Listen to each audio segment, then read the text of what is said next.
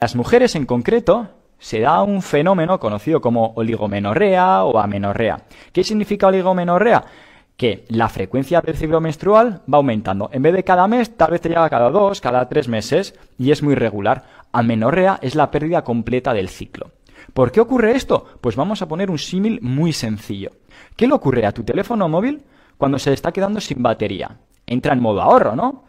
¿El modo ahorro qué significa? Que algunas funciones vitales del teléfono las quita o las reduce. Baja el brillo de la pantalla de manera automática.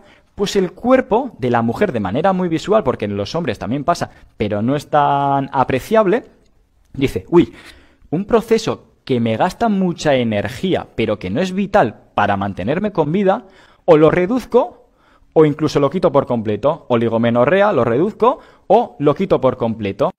Si estás interesado en conocer más sobre nuestras clínicas, escribe cita en los comentarios.